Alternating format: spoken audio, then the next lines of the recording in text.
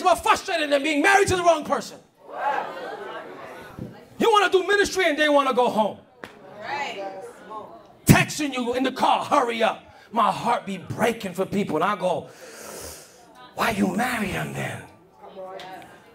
Why don't we marry them? Because you never asked apostles advice. Because you knew I was going to tell you no. He the.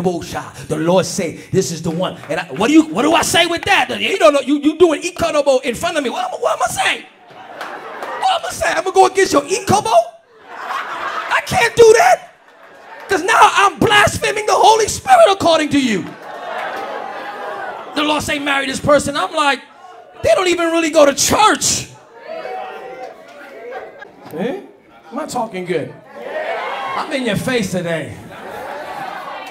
Watch this.